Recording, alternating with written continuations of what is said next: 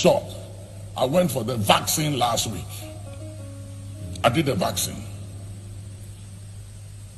And somebody said, Papa, where's your faith? And I said, it takes faith to take the vaccine. It takes faith. And I said, I said, I said, the reason why you are not taking the vaccine is because you are afraid. You are afraid of what will happen to you if you take the vaccine. You are afraid because you become a victim of conspiracy theories on social media. People are sending me all kinds of conspiracy theories and lies about the vaccine. Meanwhile, we take other vaccines, polio and uh, what do you call it? Um, yellow fever, all different kinds of vaccines. We we've been taking it for years. What is the difference between that and this? Oh, this one is too quick. This one was done too early. Church, vaccine is vaccine.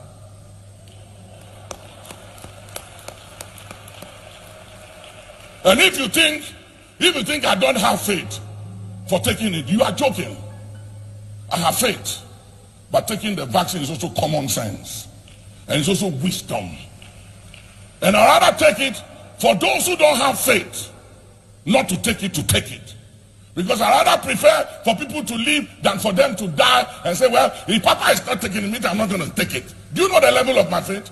I have tested 22 times negative. 22 times. I have all the results. Negative. 22 times. Yet, I am not taking chances with the life of other people.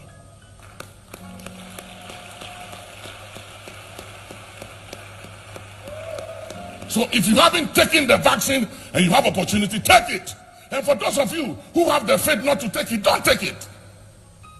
Don't take it. It's not, I'm not forcing any, I'm not telling anybody take it.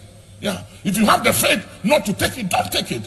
But don't go around telling anybody that don't take it. I haven't taken it, so you too don't take it. Your level of faith is different from the level of faith of others.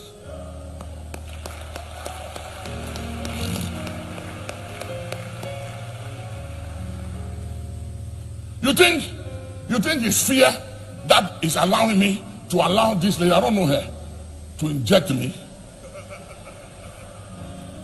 Yeah. I don't even know who the lady is. Just put something and inject me. That is faith. Faith. Because I believe that I'll be fine. And since I took it, I've been fine. No headache, no feveriness, no cold, nothing. And I will be in good health and be alive now and after. In the name of Jesus. Uh-huh. If anything will happen to anybody that took it, not me. No, no, no, no, minus me. I am exempted from any conspiracy theory of the vaccine. I'm exempted. If you don't have what to preach, stop preaching. Stop making a whole sermon out of vaccine.